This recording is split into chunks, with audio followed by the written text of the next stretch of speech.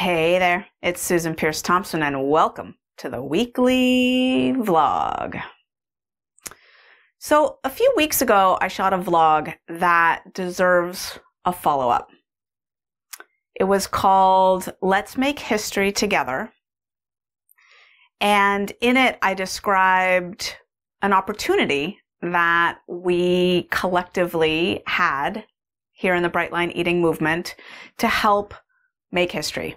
So it went something like this.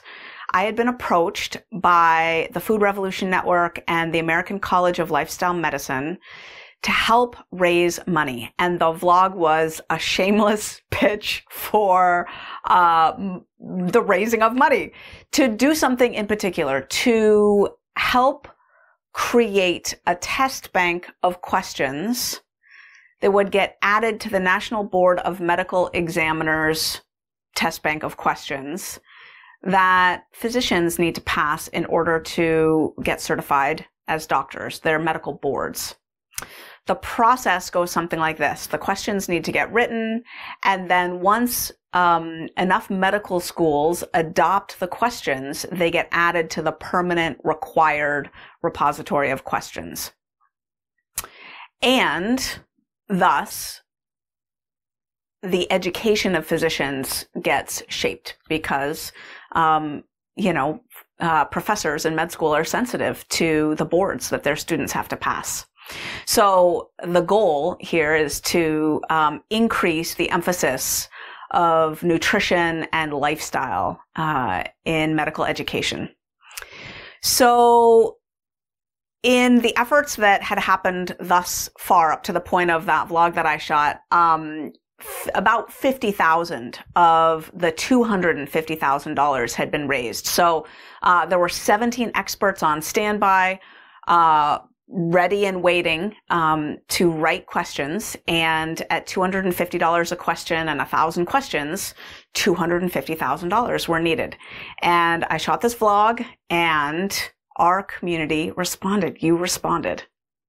You responded. And in two and a half days, we had raised the additional $200,000. And within moments, just a day or two later, uh, those experts were launched off on their process to write those questions. So I have a couple things I want to say about that. First of all, is uh, well done, Brightline Eating. Well done, you. Well done, us. It is remarkable, remarkable how this community rallies toward a worthwhile effort. Just remarkable. Another thing that I want to say is I have an apology to make. In that vlog, I characterized Western medical education and various subspecialties in Western medicine with a broad brushstrokes monochromatic brush, um, using extreme statements. And several physicians down below the vlog uh, commented on this. I, I apologize down there to them.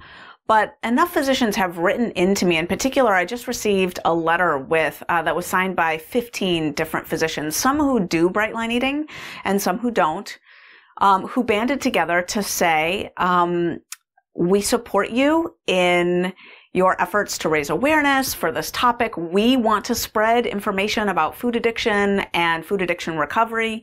And it does no one any good when um, extreme statements are made and um, the nuance that exists isn't recognized. So I need to apologize. I am sorry for the way I characterized all of medical education and specific subfields in Western medicine.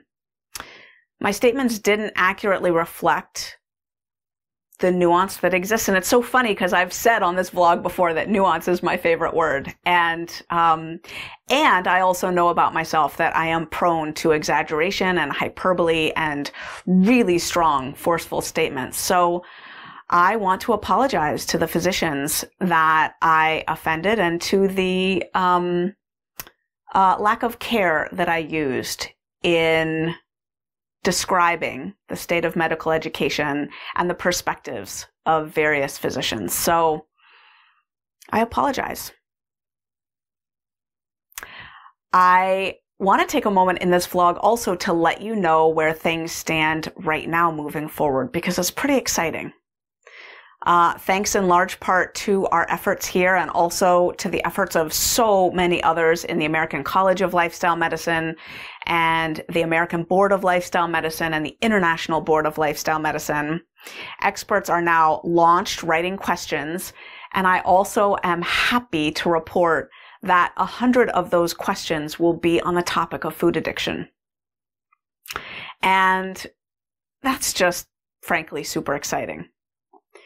I think that um, awareness of what for many is at the root of a lack of follow through when we're sitting here aware that we should be eating blueberries and not donuts and broccoli and not bagels and we know we know and yet we're not right? We're not we can't the issue is an execution over the long term. I am so excited that an awareness of the reality of food addiction and the neurobiology of it and the psychology of it is going to be in this test bank that come summer will be offered to medical schools in the United States and around the world. And we, we, our community, can feel so very proud about that. Well done, us.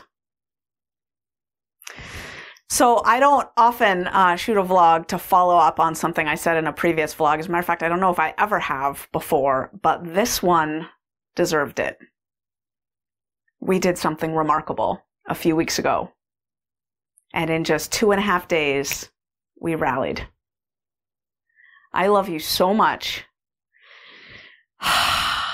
and we are changing the face of history together. I'll see you next week.